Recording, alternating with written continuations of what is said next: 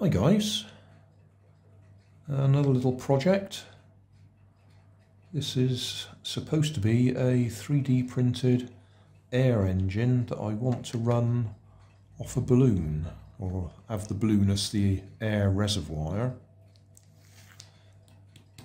Uh, Lidmotor had mentioned one on one of his videos and this is can't really say it's based on what he was talking about, very loosely based on what he was talking about. I just sat in front of Tinkercad and put bits together until they looked like they might work. So we got two tubes. That's the main um, cylinder. Piston goes up and down in there and there'll be a shaft coming up from it or a connecting rod. Then we'll have a, a CD sitting on a crankshaft here. So when the piston comes up, it pushes the CD around. Then there'll be an arm coming out here with another crank on it. Oh no, other side. an arm coming out here with a crank on it, coming down there, connecting shaft, connecting rod onto that bit there, which will sit in there and rock up and down. And that arm will push in and out to operate the valve, which will be there. The piston and the valve are just um, balls, which I haven't even checked whether they'll fit in the holes yet. I'll use these bicycle spokes as the connecting rods. Let's just put that on there a little bit, just to grip it. Right.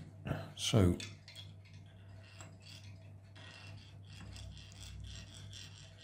that's the piston going in and out there. That's where we'll connect the balloon to blow air in. And that, if I take these bits out of the way, they're just support layers. This is um, the raft that we don't need either. Although I'm leaving it on there for now, so it'll help support it. Right, that's got to go in there. I may have made my clearances a bit generous. That's going in and out a bit easier than I expected it to.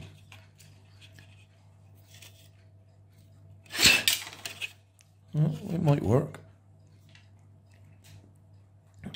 Put that on there, put my finger over there.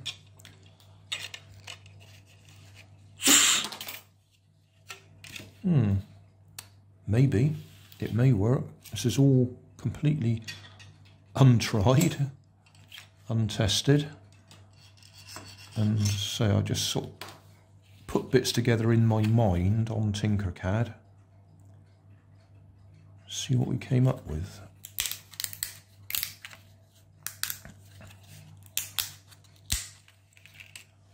So it's got to sit there, rock up and down.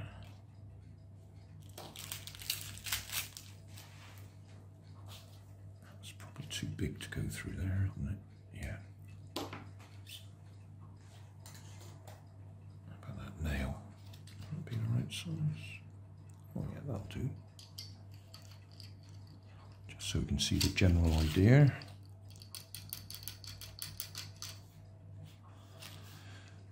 So that crank arm, bell crank, whatever you want to call it, will convert up and down from there to in and out for there. Uh,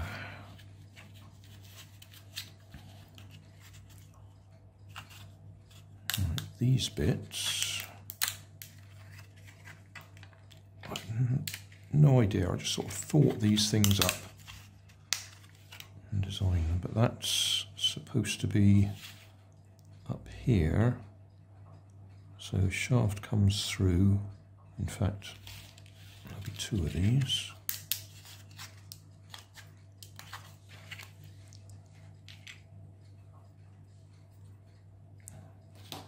Those are designed to be a fit on there, which we'll sort out later.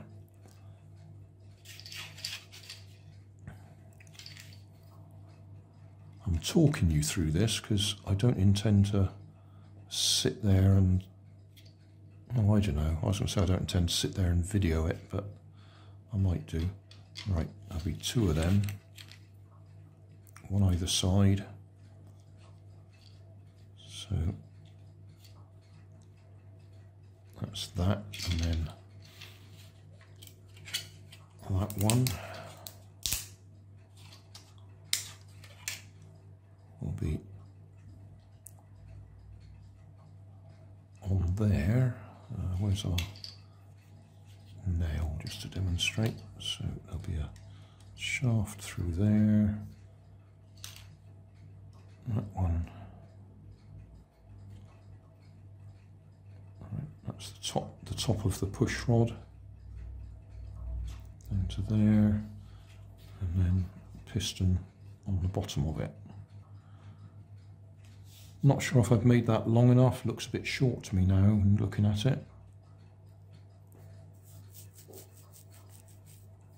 But the idea is that's going to push the flywheel around. Might need more weight for the flywheel. This is one of my um, hubs for my rubber band powered cars that I've designed to hold CDs for the wheels for rubber band powered cars but I've made the hub deeper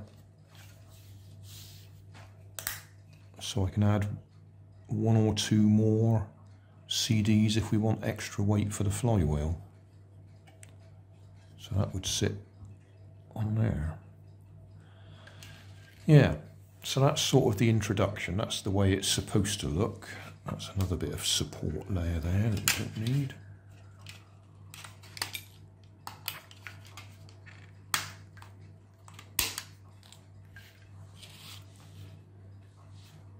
Yeah, we'll see. That's sort of an introduction to my plans.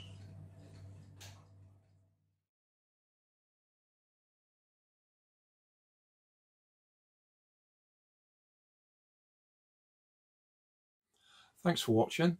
If you want more information, check down below in the video description. If you like this video, you might like this one up here. And if you want to subscribe, you can check out my channel over here. Up here is my latest video on my channel, and down here is a video playlist associated with the video you've just watched. Thanks again for watching.